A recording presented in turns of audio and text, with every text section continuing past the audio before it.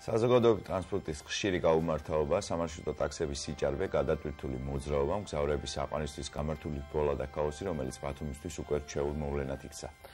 სწორედ ასეთია ვითარება იმ ქუჩებში, სადაც ყოველდღიურად მოძრაობთ, მოყავს ბავშვები სკოლებში, საბავშვო ბაღებში მოძრაობთ მეგობრებთან ერთად, ფაქტობრივად ქუჩაში ყოველი გამოსვლა და შინმშვიდობით დაბრუნება მოსალოდ სამბავს უტოლდება. ჩვენი გადაცემის გუნდი კიდევ ერთხელ დაინტერესდა იმით თუ როგორ რეგულირდება სამარშრუტო ტაქსების მოძრაობა, რამდენია დასაშვები ავტომობილების რაოდენობა, რა ვალდებულებებს ვის დაცვა მოითხოვება სამარშრუტო მიკროავტობუსების წყოლებს და რამდენადაა დაცული ჩვენი უსაფრთხოება საზოგადოებრივ ტრანსპორტში. მოვისმინოთ ბათუმის მერიის სატრანსპორტო ინფრასტრუქტურის განვითარების განყოფილების უფროსის ემზარ ქაუჟარაძის პასუხი და გამაგდოთ საუბარი სკაიფში სტომართან ერთად.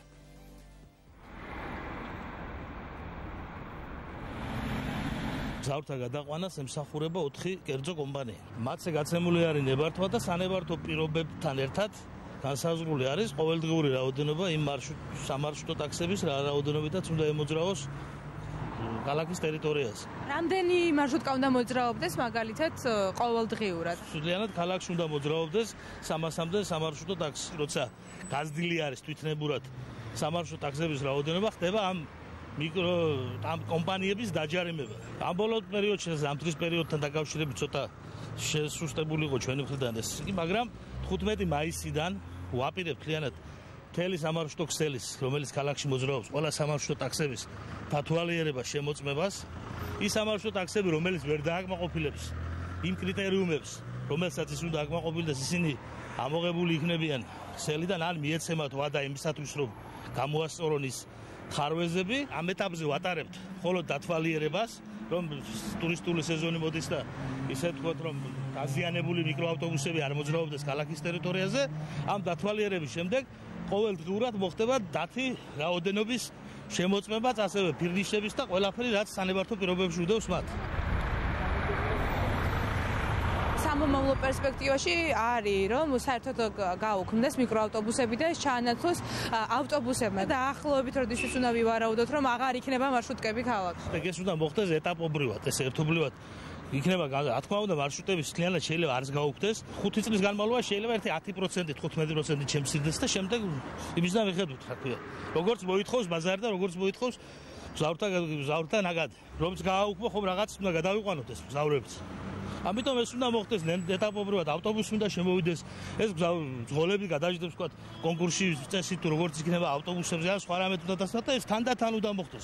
ეტაპობრივად ეს ერთი მოსხელის მოსვით ესეთი რაღაც საქმის გაკეთება არ ხდება ამ რეალობის გათვალისწინებითაც და ზოგადად გათვლებით ქალაქს რამდენი სამარშრუტო მიკროავტობუსი სჭირდება იმისთვის რომ საკმარისი იყოს მგზავრთა გადაყვანა და ამ ეტაპზე რამდენად მეტია მათი რაოდენობა? რეალურად ქალაქის ტერიტორიაზე ყოველდღიურად საკმარისია 250-270 მიკროავტობუსი. ამ ეტაპზე რამდენი მოძრაობს? დაახლოებით 400-მდე მოძრაობს, თუ არ ჩავთვლით იმ გარეუბნები და შემოსულ მიკროავტობუსებს. ამ შემოწმების შემდეგ მე როგორც ვხედავ ასებული რეალობიდან იქნება შემცირდება თავისთავად ეს რაოდენობა. მუშაობს თუ არა ქალაქის მერია იმაზე რომ მარშრუტკები ესე ქაოტურად აღარ აჩერებდნენ ყველგან სადაც მოესურვებათ. ერთ-ერთ პუნქტად ამ პროექტში არის ის რომ როგორც ავტობუსებისათვის სამარშრუტო ტაქსებისათვისაც გამოიყოს გაჩერების ადგილები. მაგრამ ეს მოხდება მხოლოდ მას შემდეგ, როცა მოხდება სამარშრუტო ქსელის ოპტიმიზაცია. ეს როდის იქნება? გადატვირთული. შეიძლება ეს მოხდეს მომავალი წლიდანაც.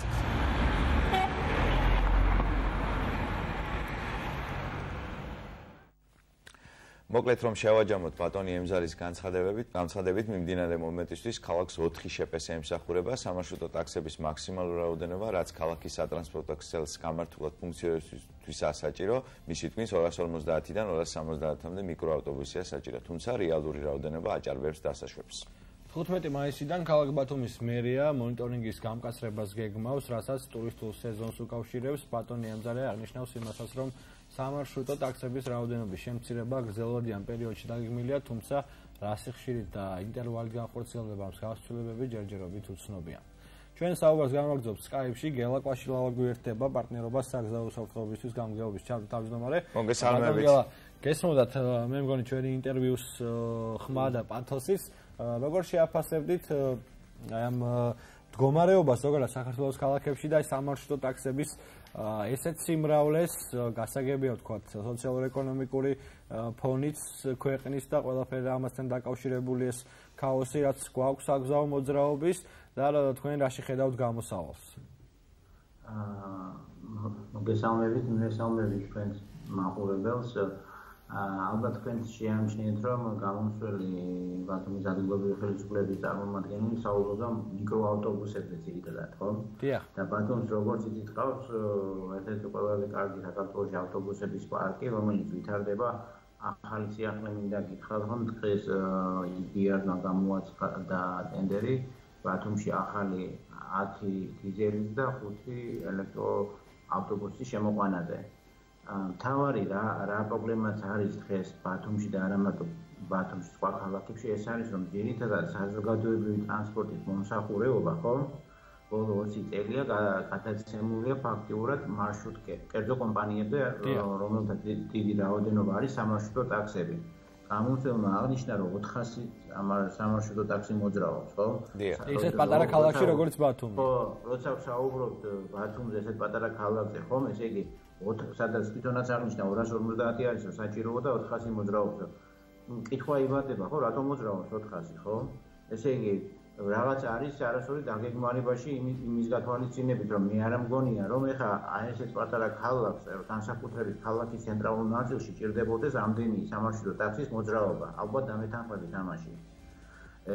აქ არის ერთი პრობლემა ის, რომ სამარშრუტო საავტობუსო ხაზები ისე უნდა მოეწყოს, რომ ერთმანეთთან კავშირი რასაც ქვია დაკავშირება და როგორც ვიცი ბათუმის სატრანსპორტო პოლიტიკი დოკუმენტის შემუშავება მიდის ახლა გაეროს განვითარების პროგრამის დახმარებით სადაც ახალი სამარშრუტო სქემა უნდა მოეწყოს უნდა განვითარდეს ისეთი სისტემა როგორიც არის ტერმინალების ანუ ყველა ქალაქში განსაკუთრებით ესეთ ტურისტულ ქალაქებში განსაკუთრებით ესეთ მჭიდრო განსაკუთრებით ცენტრალურ ადგილებში დასახლებულ ადგილებში მაქსიმალურად ცდილობენ აი ესეთი სამარშრუტო ტაქსების კონტროლს, იმიტომ რომ თუ ამათ მათი რაოდენობა გაიზარდა, მე მგონი 300 ძალიან ბევრია ბათუმისთვის, მას სამარშრუტო ტაქსების ფუნქცია არის, რომ გარკვეული რაოდენობის მოსახლეობა რომ გადმოიყვანოს სიტყვაზე ბათუმთან ახლოს მდებარე ქალაქები, სოფლებიდან, ხომ, რაიონებიდან თუმცა ისინი არ უნდა შემოდიოდნენ ცენტრალურად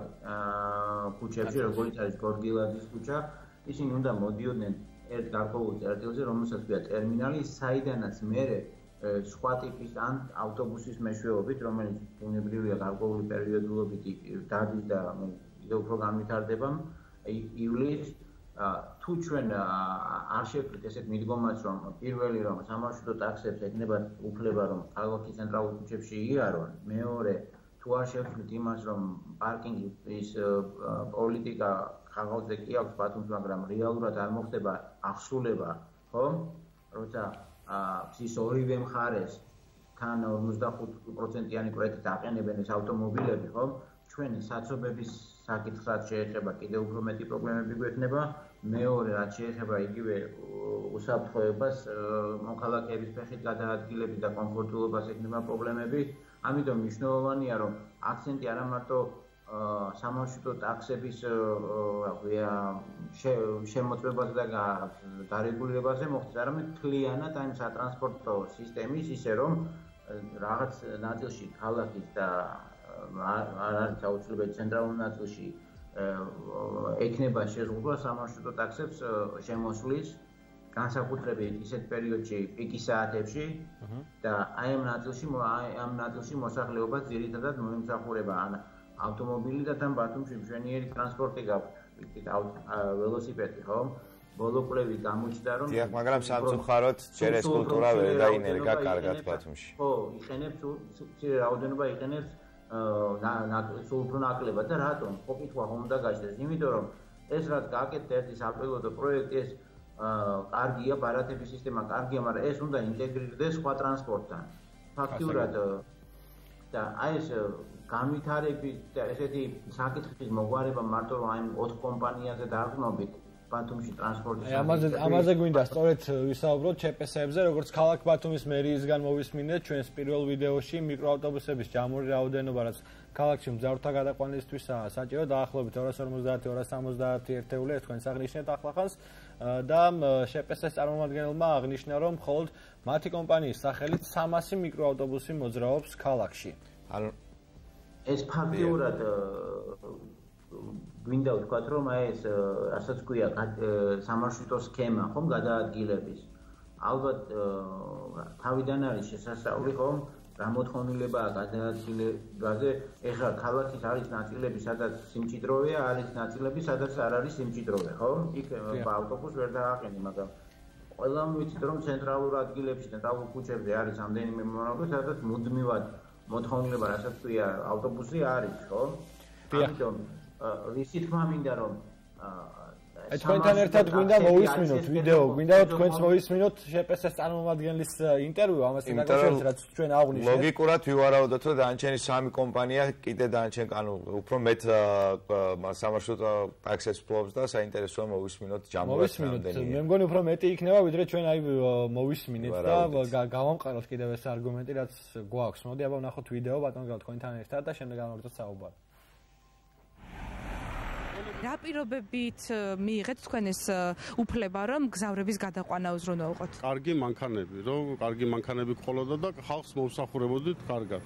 ნორმალური მდგომარეობა არის ამ მიკროავტობუსის დაახლოებით 22 კულას ყველა ვარიანტი გაივლის ეს მანქანა. ის მიხედვით ენიჭება ქულები, მაგალითად დაშორებები, რა რაოდენობის დაშორებები აუცილებლად სალონი უნდა იყოს მოკოხტაებული.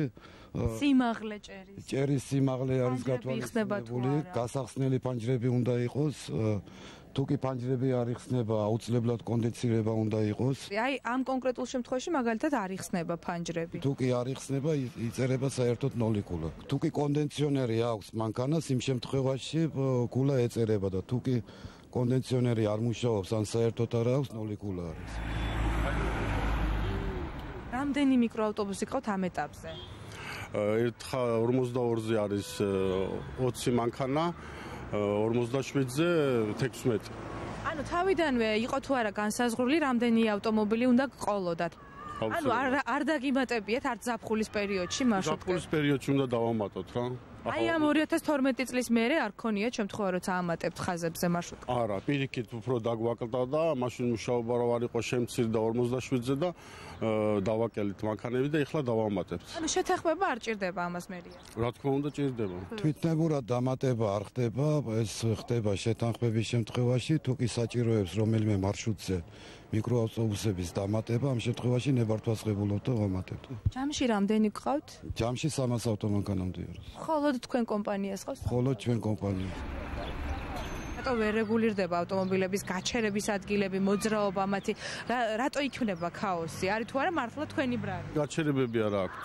რო გაჩერდნენ და ყველა ადგილას ჩერდება იმიტომ რა და იღო ამით წესები. გაჩერებების პრობლემა არის ქალაქში რამოდენიმეჯერ ანუ მივწერეთ წერილი რომ აუცილებლად გამოიყოს მიკროავტობუსების ადგილები მონიშნული იყოს ქალაქში მოსაცდელები რომელიც დღემდე მოუწესრიგებელია და ამის შესახებ რამოდენიმეჯერ წერილი დავწერეთ და პირობა არის იმის რომ აუცილებლად გაკეთდება. მერიაში არის სატრანსპორტო განყოფილება რომელიც ვალდებულია რომ მიხედოს სადმე თუ რამე დარღვევები იქნება 10-დან 100-მდე ჯარიმდებიან ძღოლები და ხშირი ყოფილა ეს დაჯარიმება.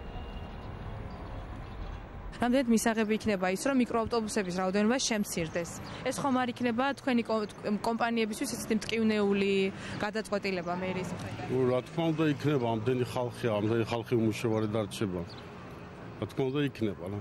ერთ მანქანაზე ორი მძღოლი მუშაობს. ანუ მარშრუტების შემცირების იდეა თქვენ არ მოგწონთ? არ მომწონს მე. რა თქმა უნდა არ მომწონს. არის ზოგიერთი ისეთი მარშრუტები, რომელიც არის თანხვედრი მარშრუტები, დუბლირებული. დუბლირებული, კი ბატონო, შეიძლება რამოდენიმე მარშრუტის გაოქმება. სავარაუდოდ, აი ჩვენს კომპანიაში 100 მიკროავტობუსის შემცირება შესაძლებელია. აი ბატონო გელა, მოვისმინეთ ერთად, მე მგონი საინტერესო საინტერესო ინტერვიუები. მხოლოდ ერთ კომპანიას, როგორც აღნიშნეთ, 4 კომპანია, მხოლოდ ერთს ყავს 300 და წარმოიდგინეთ დანარჩენს კიდე ან რეალურად 400-ზე მეტად მეტი ავტომობილი ხო, აქედან გამოდის, რომ თვითონ ადგილობრივი ხელისუფლება არ ფოს რამდენი მარშრუტკა. საინტერესო. ერთხელ არის ქალაქ ბათუმის მერის პრეროგატივა აკონტროლოს მსგავსი მარშრუტკების ან რაოდენობა, მაგრამ როგორც ერთ-ერთმა რესპონდენტმა თქვა, ანუ აპირებს კიდე საფხულში სამარშრუტო ტაქსების დამატებას. ა რასთან რასთან მიგვიყვანს ეს ყველაფერი, რა იქნება საფხულში თქვენი აზრით? აი ესეთი, აი ესეთი რა ქვია, დამატებები, გამოკლებები, რაღაც ინდივიდუალ კომპანიაზე მორგებული თან გამომსვლელმა თვითონ კომპანიის წარმომადგენლებმაც აღნიშნა, რომ პრობლემა არსებობს დუბლირების, ხო, თანხმედრის. და მალე აღნიშნა რომ 100 მიკროავტობუსის შემცირება შეიძლება თქვათ ეს არა არა ხო ესე იგი ფაქტიურად რეალ გამოდის ეს არავით არის აი შესაძლო როგორ ვთქვათ ზოგადად საზოგადოებრივი ტრანსპორტი ნებისმიერ ქალაქში უნდა იყოს ერთიანი მართვის სფერო. ეხლა რა არის გავაკეთეთ არის მარშრუტკები არის ავტობუსი. ესე იგი ფაქტიურად გამოდის რომ ერთმანეთთან კონკურენციაშია ხო კი ანუ ერთი და იგივე სამარშრუტო ავტობუსები სხვადასხვა ნომრით დადიან ზუსტად ერთი და იგივე მარშრუტით.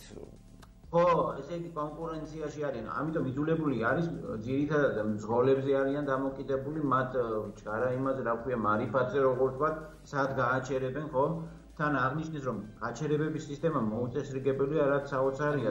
ყავს მათაც სურვილი აქვთ რომ მოწესრიგდეს ეს ყველაფერი და ხო თუ ამბობს ქალაქი რომ გვინდა სამარშრუტო ტაქსი იყოს ჩვენი საზოგადოებრივი ტრანსპორტი ძირითადი და გამოდის რომ ბათუმში სამარშრუტო ტაქსია მაშინ გაჩერებებიც ხომ უნდა გაუკეთო. თუ არა და ეს რასაც ქვია ქაოსი ქუჩებში ხო? როცა ისედაც ვიწრო ქუჩებია აქეთ პარკინგია, პარკინგის გვერდი თუ გააჩერებს სამარშრუტო ტაქსი ისეთ ადგილას, სადაც არ არის საჭირო გაჩერება, ხო? თქვენ წარმოიდგინეთ, რასაც რაცაცობი და რა სხვა პრობლემები წარმოიშობა.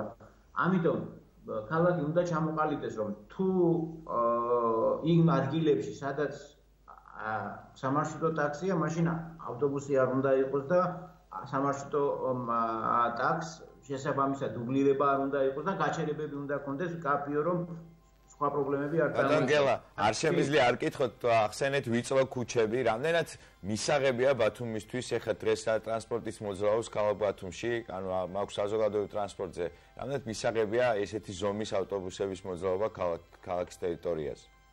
ეს როგორ ავტობუსები არის 8, 6, 12 მეტრიანი სხვადასხვა ზომის სიდიდის ასე. ალბათ იცით ბათუმის ქუჩების სივიწროვე. ხო, ეხლა სივიწროვის გულისხმობ იმ თვალსაზრისით, რომ ბათუმის ქუჩებში არის ადგილები, სადაც ორივე მხრიდან პარკინგია, ხო? დიახ. დიახ. ავტობუსებზე უნდა მოგვიანებით ვისაუბროთ, მოდი აი სამარშრუტო ტაქსების თემა ამოწუროთ. სამარშრუტოზე ვსაუბროთ, ეს თავარი პრობლემა რაც აქვს ამათ, რომ პირველი რომ დუბლირება, ხო? დიახ. რომ შეიძლება დუბლირება, ესე იგი ერთმანეთ ფაქტიურად კონკურენციაში არიან, რაც აუშვებელია საზოგადოებრივი ტრანსპორტი. მინდა ჩვენოს მაყურებელს უთხრა, რომ საზოგადო სახელმწიფოში როგორც ჯარი, პოლიცია არის სავალდებულო, ისე საზოგადოებრივი ტრანსპორტის უზრუნველყოფა, ხო? სახელმწიფოს ერთ-ერთი ფუნქცია. ეს რას ნიშნავს, რომ საზოგადოებრივი ტრანსპორტში მოთხოვნილება რაც არსებობს, გადაადგილები სახელმწიფომ უნდა უზრუნველყოს და დახმარება უნდა გაუწიოს კომპანიას. ეს არ არის ისეთი ბიზნესი, რომ რაღაც განსაკუთრებული დიდი მოგებანა ყავს ამიტომ მნიშვნელოვანია რომ კერძო ოპერატორი იქნება თუ სახელმწიფო ოპერატორი უნდა იყოს ერთი კომპანია გამიგეთ რომ ამ კომპანიას არ კონდეს გასდა რომ რამდენიმე კომპანია ერთმანეთს ეჯიბრება.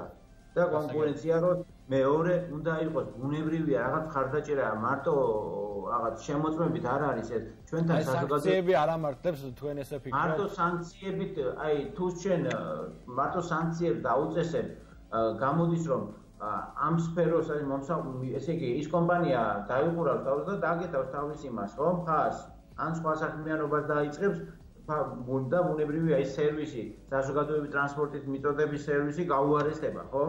ჩვენთან საზოგადოებრივი ტრანსპორტში ინვესტირება ფაქტიურად ქალაქებში არის ძალიან ცოტა ძირითადად არის დონორებზე დამოკიდებული. პირდაპირ უნდა ვთქვა ბათუმში კიდევ შედარებით რაღაც ინვესტიციები მოდის იბიარდის დახმარებით, გორში არის ქალაქები, სადაც ტრანსპორტი რაღაც 20 წლისაა, 15 წლისაა და თავს ვერ ინახავ და დღე-დღეზე იხურება ეს სამარშრუტო ისინი. და ბატონო გელა რამდენად მოაწესრიგა იგივე თბილისში თქვა ერთიანი სისტემის შექმნა აი სამარშრუტო ტაქსები ეგრეთ წოდებულმა ყვითელმა მარშრუტკებმა ეგრეთ წოდებულმა ყვითელმა ავტობუსებმა მოაგვარა ეს პრობლემა რაც ახლა თბილისში იგივე სისტემა არის ყვითელი მარშრუტკები და არის თბილისის ავტობუსი.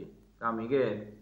საქართველოში არ არის ჯერ ესეთი სისტემა რომ ეს ერთი ეს და თბილისშიც იგივე პრობლემებია რაც ბათუმში მინდა გითხრათ რომ მარშრუტკები გაჩერებას მაგრამ თბილისში არის ერთი შეპესე და ბათუმში არის 4 ანუ თბილისში არის ზოგადად თბილისში არის საზოგადოებრივი ტრანსპორტის ყველაზე დიდი გადამყვანი როგორც ბათუმში არის სამარშრუტო ტაქსი 35% მე მოდის ავტობუსი. ავტობუსი არის სახელმწიფო საკუთრება და სამარშრუტო ტაქსი კერძო კომპანიის საკუთრება ბათუმის შემთხვევაში აქ რამდენიმე მესაკუთრე ეს კიდე უფრო ზრდის პრობლემებს, იმიტომ რომ გამოდის რომ რამდენიმე მესაკუთრეს ფაქტიურად ერთმანეთთან კონკურენციის რეჟიმში უწევს ყოფნა, ხო ისეა? აქ თბილისში არის ერთი. მაშ ეს ერთი კი, მაგრამ ესეც თავისთავად ავტობუსებთან ხშირად ნახავთ რუსთავოზე, რა ვიცი, ყველა ქუჩებზე რომ ავტობუსი, სამარშრუტო ტაქსი ერთმანეთს ცდილობენ რომ გაასწრონ გაჩერებებზე, ხო ეგრეა? კონკურენციაში არიან, დიახ. ხო, და ეს კონკურენცია დაუშვებელია საზოგადოებრივი ტრანსპორტის დროს. ალბათ პირველი რაც უნდა გაკეთდეს მინიმიზირება უნდა მოხდეს ამ ხაზებში მაქსიმალურად თავიდან უნდა აცილებული უნდა იყოს ეს თანხმედრი რეგულირებული რეისები ისა ხაზები რა ქვია მარშრუტები. პირველი მეორე. თუ არის ადგილები სადაც ავტობუსი არ მოძრაობს ხო? და მარტო სამარშრუტო ტაქსია ბუნებრივია უნდა მოეწყოს გაჩერებები და არ კონდეთ მათ ყველაზე დიდი პრობლემა ესაა საქართველოში პარკინგთან ერთად რომ ფაქტიურად მოძრაობის წესების არ დაცვა ხო საზოგადოებრივი ტრანსპორტისგან განსაკუთრებით მე მაგალითად რომ სხვამაც გააჩერო სადაც უნდა ხო? ამიტომ მე პირველ ხაზზე რო გააჩერე მეორეზე რო გააჩერე ეს ქუჩები უშუალოდ არ იზრდება ეს ის არ არის რა რეზინოვით რო გაიზარდოს ხო? ეს არის ბატონ გელა, მოდი ნახოთ ვიდეო, გადავიდეთ ავტობუსების თემაზე ნელ-ნელა და ერთი ვიდეო გვინდა კიდევ ნახოთ, რომელიც ავტობუსების თემას ეხება, ბათუმის ავტოტრანსპორტს. მათი ინტერვიუ მოვისმინოთ და შემდეგ იმცირე კომენტარი თქვენ საინტერესო იქნება თემასთან დაკავშირებით. როდისთვის იგეგმება ავტოპარკის განახლება და თუ არის უკვე ცნობილი როგორ იქნება კრიტერიუმები? აქტირებული ავტობუსი არის ფავის მარკის ავტობუსი, რომელიც 10 მეტრო ნახევარი სიგრძის არის და ვფიქრობთ, რომ ამ ჩვენი ქალაქისთვის და ქუჩებისთვის უფრო კარგი იქნება არის ოდნავ დაახლოებით ასე ვთქვათ 1 მეტრით პატარა და ცოტათი ვიწრო ავტობუსები, რომლებიც ბათუმის ქუჩებში უფრო კარგად და ადვილად გაივლიან. ახალი ტიპის ავტობუსიც იქნება ყველა ვარიანტში ორკარიანი, აუცილებლად იქნება მექანიკური პანდუსი, რომელიც ადაპტირებული არის ტექნიკური შესაძლებლობის მქონე პირების ტრანსპორტირებისათვის. ასევე ადგილების რაოდენობა იქნება უბრალოდ განსხვავებული ვიდრე ეს არის აქ და ამ კონკრეტულ შემთხვევაში რამდენი ეტლის მოთავსება არის შესაძლებელი და ახალში რამდენი დაეტება ახალში ერთი ეტლის ადგილი იქნება თუმცა იმ ხაზზე რომელშიც ის ჩანაცვლება აუცილებლად იქნება მთლიანად ყველა ადაპტირებული ავტობუსი მოძრაობს ერთ ხაზზე. ანუ ამ კონკრეტულ შემთხვევაში სამი ეტევა მე როგორ ამ კონკრეტულ შემთხვევაში ეტევა ორი ორი ეტლის ადგილი არის აქ გამომდინარე გაბარიტებიდან. ეს ავტობუსები რჩება ისევ ქალაქში და ხაზებზე და ის ახლები უკვე ადაპტირებული ემატება ქალაქს. საბოლოო ჯამში ესეთი კომფორტული ავტობუსები რამდენი პროცენტი იქნება არსებული ავტობუსების რაოდენობის? თუ ეხლა დღეს ჩვენ გვაქვს დაახლოებით 18% პარკის ადაპტირებული, უკვე დაახლოებით სავარაუდოდ 40%-ამდე გაიზრდება აღნიშნული მაჩვენებელი. პირველ რიგში ჩვენი ასე ვთქვათ ამოცანა იყო ის, რომ საფრთხეობა და ეკოლოგია. ეკოლოგიის თვალსაზრისით, როგორც მოგეხსენება, დიზელის ევრო 5 ძრავზე მომუშავე ავტობუსი იქნება და სრულიად ელექტროავტობუსები იქნება. ხოლო რაც შეეხება უსაფრთხოებას, ის ძალიან, ასე ვთქვათ, ახლოს იქნება იმ ევროპულ სტანდარტებთან, რომელიც არსებობს. ამ ავტობუსში კონკრეტულში ვიცით, რომ არის კონდენსირების სისტემა, თუმცა არ არის ეგრეთ წოდებულ ყვითელ ავტობუსში კონდენსირების სისტემა. ზაფხულთან ერთად ეს არის პრობლემა. კონდენსირების სისტემა, ასე ვთქვათ, ამ ავტობუსებს არ გააჩნიათ, ხოლო ზამთარში აქვს კათფობის სისტემა, თუმცა აქვს, ასე ვთქვათ, ფანჯრები როგორც ხედავს რომლებიც იღება ტენდერი რომელიც დაჯდა დაახლოებით 80000 ლარზე მეტი გამოიცვალა 800-მდე სავარძელი. კონდუქტორის სისტემის დანერგვამ რეალობა შეცვალა და ახალი გამოსული სავარძლები არც ერთი დღემდე თითქმის ერთი წელი არის გასული და დაზიანებული არ არის. მანამდე რა იყო მიზეზი დაზიანების? ხშირად იყო დანით დაჭრილი. კი, იყო ვანდალური ფაქტები, ძირითადად დაზიანების მიზეზი იყო დანით დაჭრები, სამართლები და ასე შემდეგ.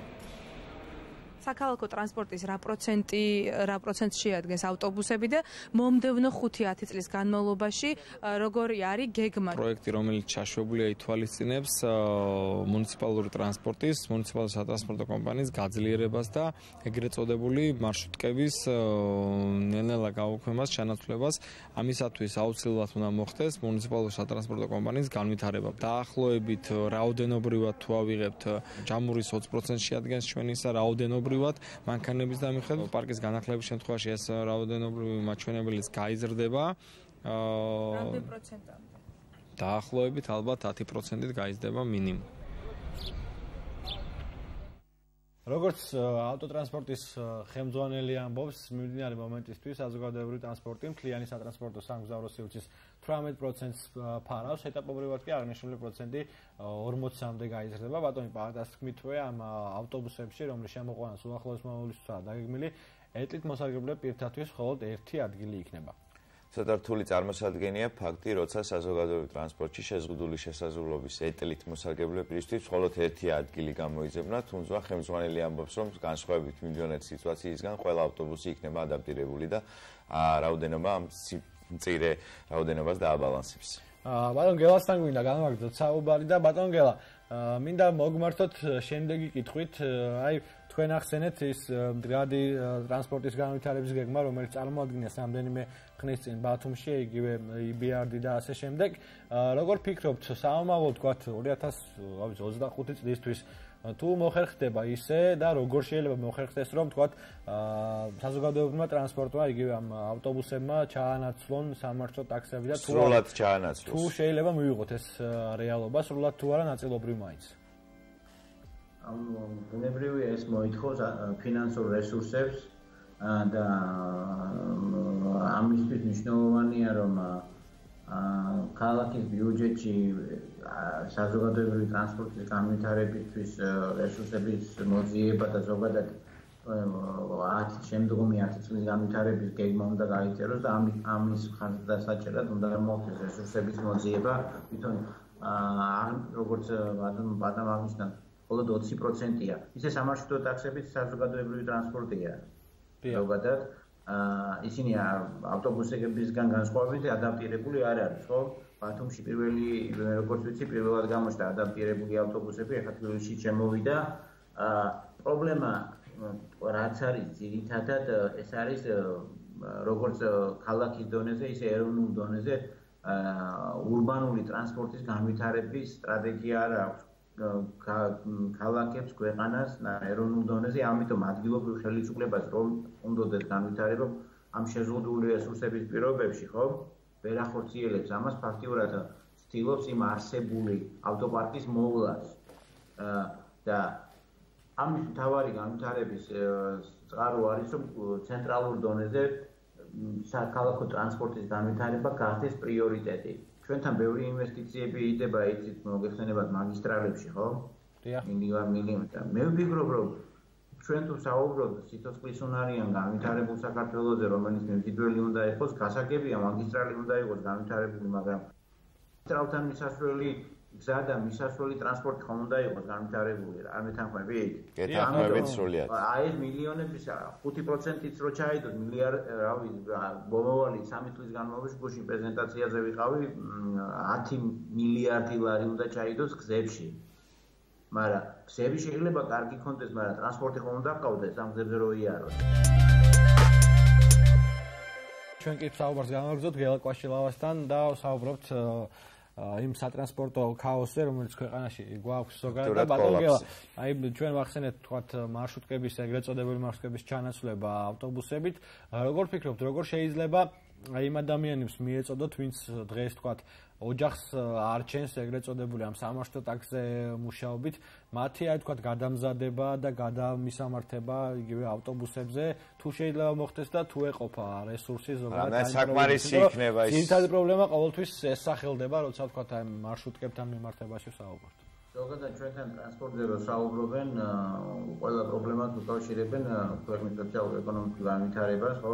ინდონეზიას, რომელიც ეს არის მითია ტრანსპორტის სფეროში, რადგან იგივე ტექ შემოწმებაზე რო საუბრობენ, თითქოს მანქანები გაჩერდება, აა არა და ამ გამომართავი ავტომანქანებიდან, ხო? არა, შეიძლება მარშრუტკა ავტომობილია გარემოს დაბინძურების კუთხით, საგზაო სატრანსპორტო შემთხვევების კუთხით ძალიან დიდი ზარალი აქვს, ასეულობით მილიონი ლარი და ის კატეგორია ადამიანები, ვინც მუშაობენ ამაზე, ბუნებრივია, საზოგადოებრივი ტრანსპორტზე მოთხოვნილება იქნება და ისინი სხვა იმ ტრანსპორტზე იმუშავებენ.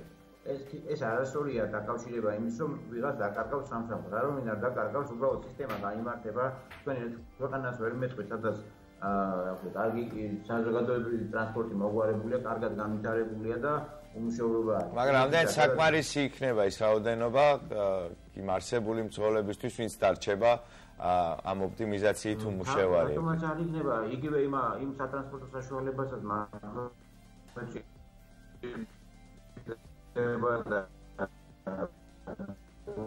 აი თავის სამუშაო დასვენები და ზოგადად პრობლემაა რომ შეიძლება არიან და მაგალითად ბათუმის ავტოტრანსპორტი რო არის იცავს ესეთ რეჟიმებს როგორც ვიცი და პრობლემები უფრო მეტი ანაზღაურება აქვს სოციალურად უფრო დაცული არიან.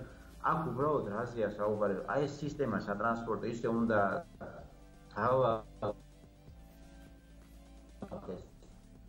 ისე უნდა აა მოთეს მისი მოწყობა რომ ის რაც ფასებსაც აქვს მნიშვნელობა და სამარშრუტო ტაქსები უფრო ძვირია ვიდრე ავტობუსი ხებში ხო?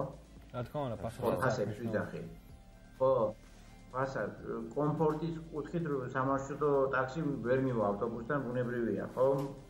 აა კარგ ავტობუსი კარგ ავტობუსი მე ვისი თქვა მინდა სოციალური პირობების დაცვის კუთხითაც და აქ უბრალოდ ისე არ უნდა იყოს რომ სახელმწიფომ არა ცენტრალურმა თუ ადგილობრივმა ეს თავისი ფუნქცია რომ უზრუნველყოს საზოგადოებრივი ტრანსპორტი გამი მია მიატო მიატო მისეს ამის მართვა მთლიანად კერძო კომპანიებს რომლებსაც არ იქნებათ მისი განვითარების საშუალება გამიგე არ იქნებათ რესურსები და ხაოტურად გასაგებია ბატონგელა თავისი გადაწყვეტილებიდან გამომდინარე გასაგებია. სამწუხაროდ დრო აღარ გვაქვს. ძალიან დიდი მადლობა მინდა გითხრათ იმისთვის რომ ჩავდაგვითეთ გადაცემაში და მოგვიყევით ესე ავისი ფართოდ თქვენი შეხედულებები ტრანსპორტის საზოგადოებრივი ტრანსპორტის განვითარების შესახებ და იმედია რომ რაღაც დონეზე მაინც ამ ჩვენ დაახილოს და გულისკევილს გაითვალისწინებენ ის ადამიანები ერთი და დავამატო.